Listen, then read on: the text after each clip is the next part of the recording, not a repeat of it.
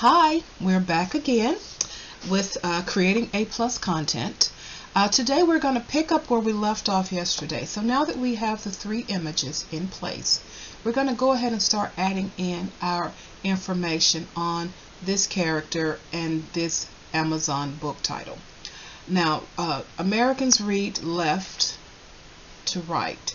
So you want to make sure that visually you have everything left to right. Now what you can do, you can flip this image and then everything will be on the left side of the screen. Alright, so now I can start here and put the book title here and I like for this to be a little bit larger because I want people to know that this is the title that they are going to get. So if you start on the left side and you're coming to the right, we're going to go over here and get my pre-designed or what I've already preset, preset uh, my fonts.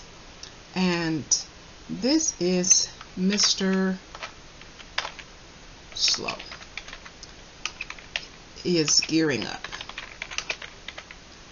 A couple of leader dots there to get let you know that hey, Mr. Slow is coming. Now I think that's a stark contrast on that black and so I'm going to go here to my subheading or my second font and I'm going to go ahead and add in my hashtags of Olivia Writes and that he is a technician and then I am going to close this out by adding in my logo down here on the right side.